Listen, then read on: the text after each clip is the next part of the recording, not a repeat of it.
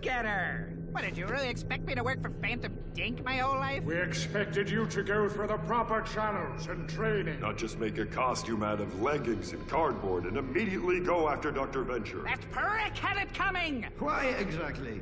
Our sources tell us you began arching him in college. Yeah, yeah. Roll the clip. Unfortunately, we have no visual records of your time in college. Really? Also, we're not gonna have to sit through hours of me abusing myself to Markie Post? Of course not.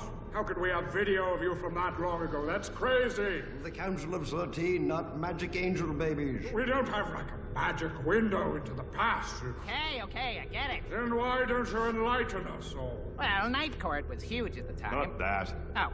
Well.